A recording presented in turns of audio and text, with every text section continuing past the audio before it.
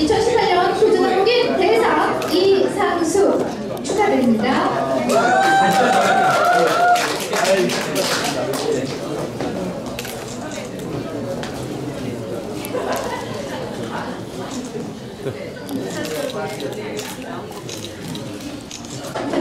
네. 반갑습니다. 저게 도전 한국인 대상에 걸맞는 그런 인재가 되도록